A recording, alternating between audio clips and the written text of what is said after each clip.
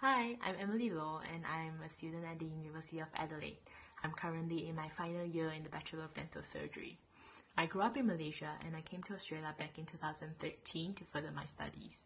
I was enrolled in the Foundation Studies program at Eynesbury College and it was from there that my journey here in Australia began. Coming to Australia for the first time, I was actually extremely nervous.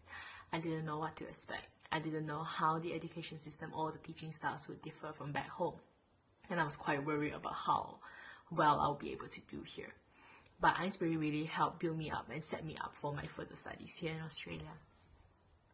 The staff were approachable and they worked really hard to help you not only in your studies but just to look out for you in your general welfare as well.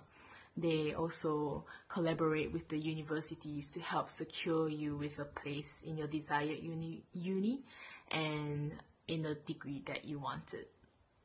I had a great time in Eynesbury. I met some of my closest friends there.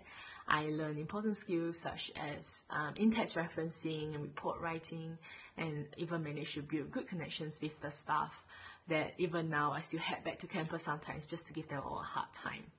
All jokes aside, I'm extremely grateful for my time in Eynesbury and I believe that it has shaped me to be the student that I am today.